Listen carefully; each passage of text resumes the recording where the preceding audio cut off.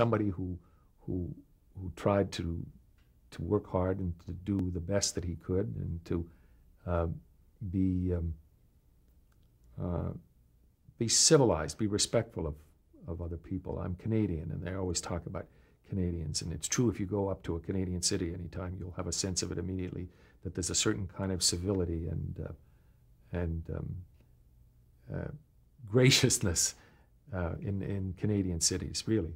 And uh, I guess maybe I am a disciple of that kind of thinking because um, uh, I mentioned the word screamer. I can't stand the thought of uh, producers or directors who scream at people in order to get the work accomplished. I, I would much rather get it done because uh, those people care about you and want to support you.